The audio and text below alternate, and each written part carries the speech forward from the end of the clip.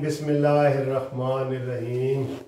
मेरे प्यारे कानूनी टीवी चैनल्स के व्यूवर्स को, मुनसिफ अवान एडवोकेट का बहुत बहुत सलाम। और आज जो शख्सियत आपके सामने दो हमारी शख्सियात बैठी हैं, वो जानी पहचानी है और ये आपकी फरमाइश पे बुलाई है। क्योंकि कमेंट्स में आपने कहा है जी कि सैयद मंजूर गिलानी साहब को भी बुलाएँ, दोबारा बहुत अच्छी बातें करते हैं। और आपको पता है ये इस्तकलाल पार्टी के सदर भी हैं और इनका अपना एक कानूनी टीवी भी है सियासी दरवेश टीवी भी है यूट्यूब पे।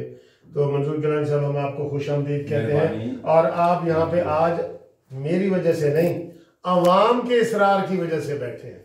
उनकी भी मेहरबानी है। हाँ जी और इधर हम मेरे जो दाएँ हाथ पे बैठे हैं ये हमारे पाकिस्तान जस्टिस पार्टी रावलपिंडी के सदर हैं।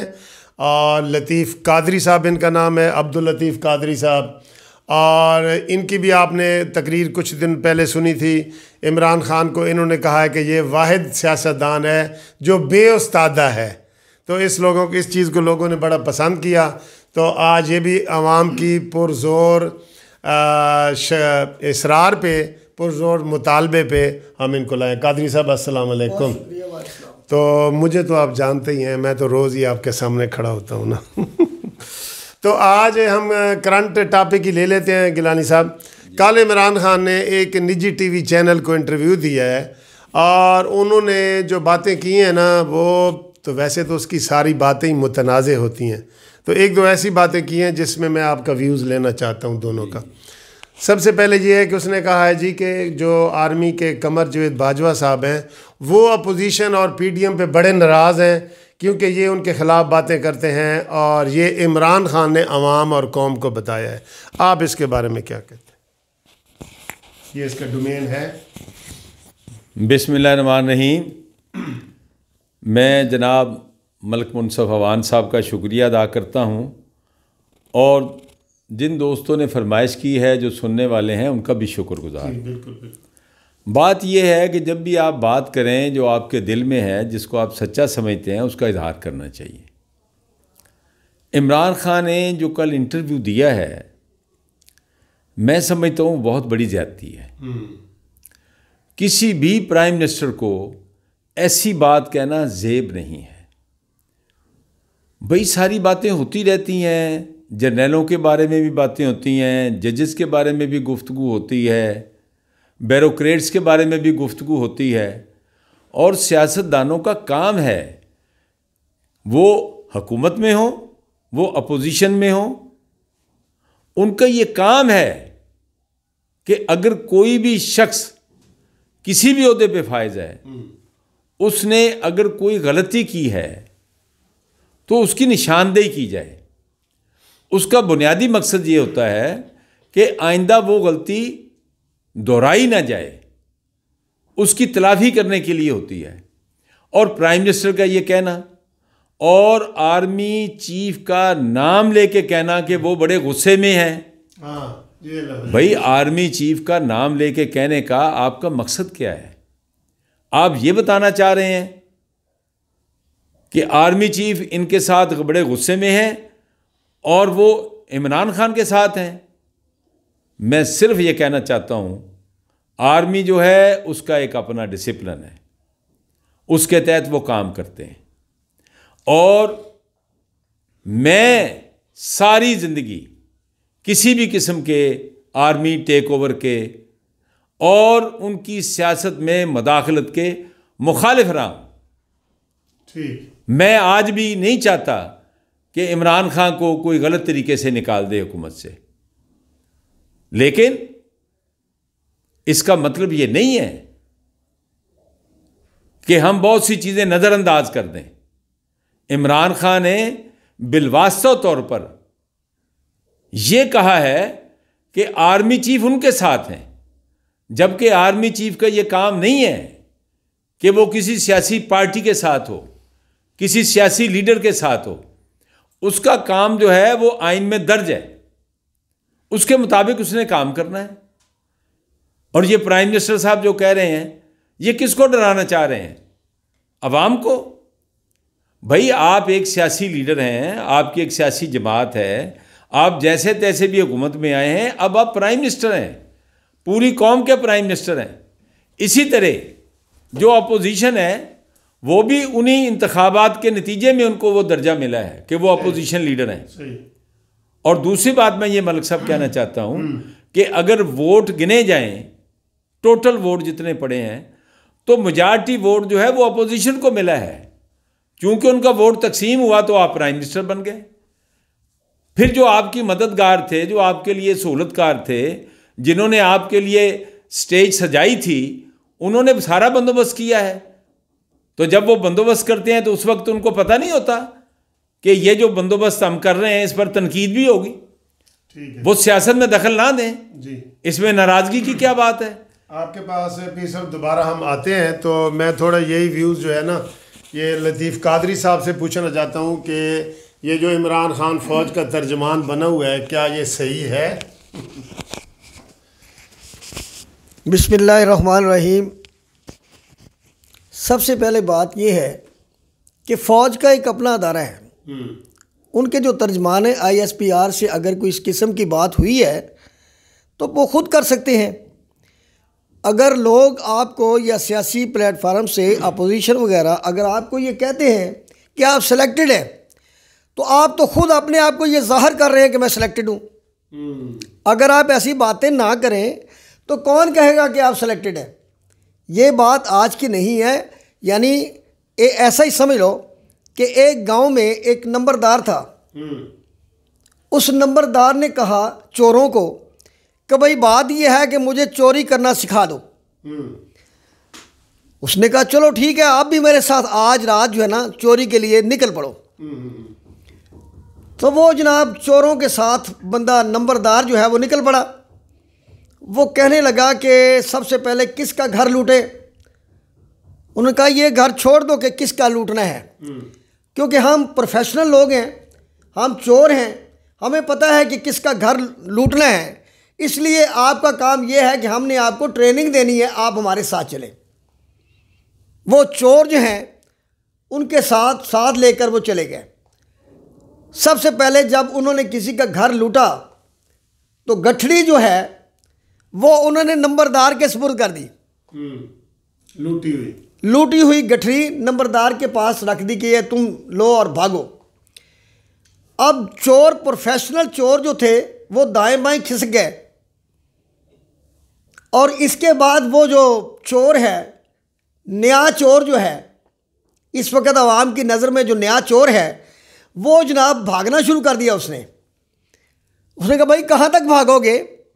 भागता गया भागता गया लोगों को पता चल गया कि ये चोर है। अब पूरा गाँव उसके पीछे लग गया चोर चोर चोर चोर करके ना आगे आगे भागता गया। अब उस चोर ने देखा कि मेरे पास कोई रास्ता नहीं है मैं जाऊँ किधर? वो एक टीले पे खड़ा हो गया। टीले पे जब खड़ा हो गया तो वो कहता कहने लगा कि खबरदार आप मेरे पीछे भाग रहे हैं आपने कभी चोर नहीं देखा।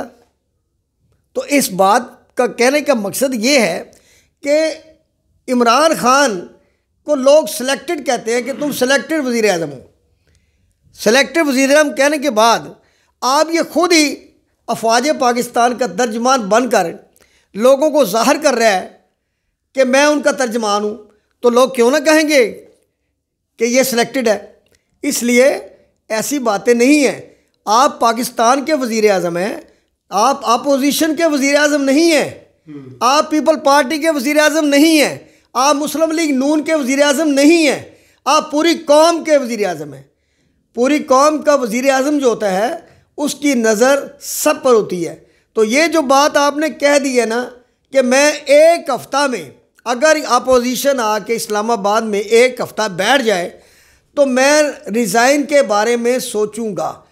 इसका मकसद ये हुआ कि आप जो रैलियाँ या जितने जलसे हुए हैं, आप उससे परेशान हो चुके हैं कि अगर ये रेला बन के मेरे सैलाबी रेला आ गया, आवाम का तो मुझे तो छोड़ना पड़ेगा। यानी आप इस वक्त डिसाइड हो चुके हैं जहनी तौर पर। जब बंदा जहनी तौर पर मफलूज हो जाए तो उसके बाद उसको हुकूमत करने का सवाल ही पैदा नहीं करे कैसे?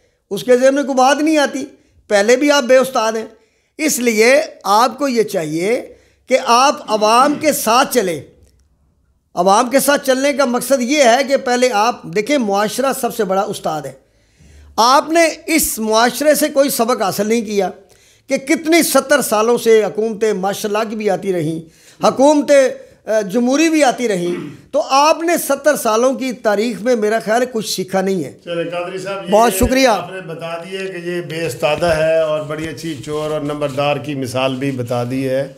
बात यह है कि मैं थोड़ा सा इसमें इजाफा करना ये चाह रहा हूँ कि भाई फ़ौज ने जो कमर जवेद बाजवा साहब ने इमरान ख़ान को बताया है कि मैं पीडीएम वालों पे बड़ा नाराज़ हूँ तो वो कौम को डायरेक्ट क्यों नहीं बताते?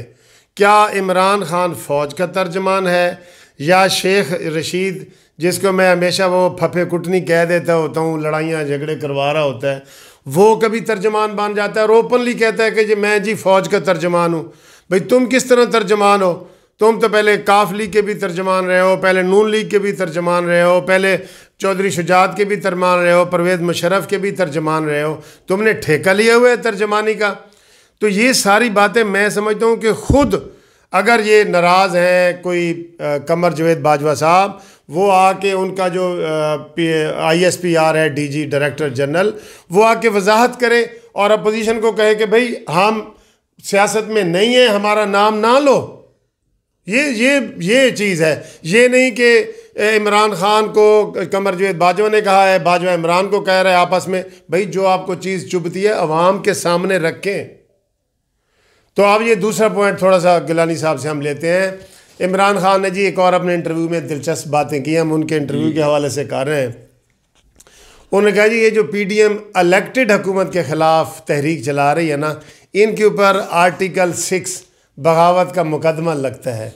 तो क्या इमरान अपने चीज़ें भूल गए? मलिक साहब बात यह है कि कोई इलेक्टेड हुकूमत हो या जैसे भी हुकूमत बन जाए हाँ। किसी भी तरीके से पाकिस्तान में बनती नहीं है। उनके ख़िलाफ़ जो अपोजिशन होती है वो तहरीक चलाती है वो अपने लोगों को मनज़म करती है आवाम के अंदर एक शूर पैदा करती है। ये तो अपोजिशन का काम है। किसी हुकूमत पर जो तनकीद है या प्राइम मिनिस्टर को यह कहना कि आप मुस्ताफ़ी हो जाएँ आप इस काबिल नहीं रहे आपके पास हमायत की कमी हो गई है तो ये आर्टिकल छः कहाँ से आ गया इसमें? हाँ जी। आर्टिकल छः जो है वो इमरान खान काश पढ़ लेते। उनके पास काफ़ी पढ़े लिखे लोग हैं खुद भी कहते हैं कि मैं इंग्लैंड से पढ़ के आया हूँ अंग्रेज़ी तो उनको हमसे ज़्यादा आती होगी वो ज़रा आइन का आर्टिकल पढ़ लें छः जो है। वो तो ये कहता है कि किसी भी गैर जमहूरी तरीके से आइन को तोड़ना आइन को सबवर्ड करना जो है और आइन को तोड़ने सबवर्ड करने वाले जो लोग हैं उनकी जो मददगार हैं हम्म। उन पर आर्टिकल छः लगेगा। तो यहाँ आर्टिकल छः कहाँ आ गया? भाई आपकी हुकूमत है ना। आप हुकूमत कर रहे हैं अपोजिशन अपनी जदोजहद कर रही है, अपनी स्ट्रगल कर रही है। तो यहाँ आर्टिकल छः कहाँ से आ गया? खुद इमरान खान जो कहते रहे हैं, और इन्होंने बिजली के बिल जो थे वो जलाए। 2014 का जो इनका धरना था, उसमें इन्होंने कहा कि सिविल नाफरमानी हमने करनी है। इन्होंने कहा कि जो बाहर लोग बैठे हैं वो बैंकों के ज़रिए कानूनी तरीके से पैसे पाकिस्तान में ना भेजें हाँ बल्कि हुंडी के ज़रिए भेजें ये सारे गैर कानूनी गैर अखलाकी काम जो थे ये तो इमरान खान खुद करते रहे हैं। अभी तक जो पीडीएम है उनकी क़्यादत ने अभी तक हम उनका हिस्सा नहीं है। मेरा उनके साथ कई बातों पर इख्तलाफ है जैसे इमरान खान के साथ भी इख्तलाफ है उनके भी कई कामों से इख्तलाफ है। लेकिन उन्होंने अभी तक ऐसी कोई बात नहीं की। रही ये बात कि वो कहते हैं कि इमरान खान से हमने इस्तीफ़ा लेना है तो भाई वो जाएँगे जाके वहाँ बैठें अपनी राय का इजहार करें वो जलसा करें जुलूस करें रैली करें। हाँ ये एक एक पॉलिटिकल पार्टी का एक हक है कि वो आवाम को अपनी तरफ़ मुतवजो करने के लिए ये काम करते हैं। और ये पाकिस्तान में या दुनिया में पहली बार तो नहीं हो रहा है ये तो होंगे। तो ये आर्टिकल छः की धमकी देना अच्छा भी अगर उन्होंने कोई बगावत की है जिसका इमरान खान ने कहा है कि जी वो फौज को उकसा रहे हैं। हाँ ये लफज हैं असल में। अच्छा जी अगर उन्होंने फौज को उकसाया है तो ये तो आर्टिकल छः में आता है। तो फिर आप क्या गन्ने चूस रहे हैं? फिर आप उन पर मुकदमा बनाए ना? आप ये धमकियाँ क्यों दे रहे हैं। इसका मतलब ये है कि अगर आप फौज को बगावत पर उकसाने वाले लोगों पर मुकदमा दायर नहीं करते तो आप भी जुर्म कर रहे हैं। यह खाली आप सियासत ना करें। यह लोगों को डराने की बात नहीं है। अगर आपके पास कोई सबूत हैं तो आप मुकदमा चलाएँ फिर। सबको लेके आए कटहरे में। यह बतौर प्राइम मिनिस्टर आपकी ज़िम्मेदारी है। लेकिन आप मुकदमा तो कर नहीं रहे। आप अपनी ज़िम्मेदारी पूरी नहीं कर रहे और खाली आप बातें कर रहे हैं। चलो ठीक है जी, पीर साहब जी, बड़ी वजाहत आपने कर दी है। मैं तो हमेशा ये कहता हूँ कि ये जो इमरान खान बातें कर रहे हैं ना अभी भी आर्टिकल सिक्स की बातें आप कर रहे थे, सिविल नाफरमानी की, बिजली के बिल जलाना, बैंकों के ज़रिए पैसे ना भेजना। मैं कहता हूँ इमरान खान ने 126 दिन धरना दिया है ना, इसके ऊपर 126 बगावत के केस बनने चाहिए। 126 एफ़ आई आरें होनी चाहिए। हर रोज़ इसने बगावत का मुकदमा किया है। और इसने पूरी कौम के सामने ये कहा था कि मैं घिराओ, जलाओ। इसका जो अभी मैंने जिसका पहले ज़िक्र किया, शेख रशीद ने कहा था कि घिराओ, जलाओ, तोड़ो, फोड़ो, हम ये कर देंगे, शहर बंद कर देंगे। और इसने इसने तो इंतहा की हुई है। मैं हमेशा कहता हूँ, ये जो पीडीएम की इस वक्त तहरीक है ना, इमरान खान ने जो इस तरह के काम किए हैं, धरने, बिल जलाना उसका भी दस फ़ीसद भी पीडीएम ने नहीं किया। बिल्कुल पुरमन तहरीक है पीडीएम की। बिल्कुल जलसे जलूस, बिल्कुल एन वो आइन के, कानून के और उसके मुताबिक कर रहे हैं। इमरान खान की तरह सिविल नाफरमानी नहीं कर रहे। सिविल नाफरमानी हमेशा अंग्रेज़ों के दौर में मुसलमान करते रहे हैं, जब इधर गैर मुसलमों की हुकूमत थी और वो मुसलमानों के लिए होती थी। तो इसने तो इतनी हदें पार की हुई हैं ना। इसका तो कोई कोई हाल ही नहीं है मैं को एक लोकल मुहावरा है वो मैं बोलता हूँ शायद आप दोनों को कोई समझ आ जाए कि जी छज तो बोले तो परून की बोले। इसका मतलब पता है सर आपको? आप इसको थोड़ी सी वजाहत कर दें कि छज तो पी साहब आपको पता है इस मुहावरे का ये हमारा मियाँ वाले बोले तो छलनी की बोले। छलनी की बोले। यानी ये तो छलनी है इसने तो इसके तो इतने सुराख हुए हुए हैं कि वहाँ से कोई चीज़ वहाँ नहीं टिक सकती, ये इतना ख़तरनाक आदमी है। और मैं ये समझता हूँ कि ये पहले दिन से ही इदारों के पीछे छुप रहा है। कभी कहता है, जी, मैं सुप्रीम कोर्ट से आर्डर ले आऊँगा। कभी कहता है, जी, मैं फ़ौज मेरे साथ है। भाई, तुम्हें हर रोज़ ये कहना पड़ता है, फ़ौज मेरे साथ है। फ़ौज आवाम के साथ है। वो हमारी भी प्यारी फ़ौज है कादरी साहब की भी है गिलानी साहब की हम सब की फ़ौज है। सिर्फ़ इमरान खान मानी मेंटल की नहीं है ये फ़ौज के वो क्या रोज़ कहता है कि मेरी फ़ौज है मेरी फ़ौज है। वो सिर्फ़ आवाम को डराने के लिए कि जनाब अब मैं एक और मिसाल है वो खुसरे वाली वो मैं देना नहीं चाहता।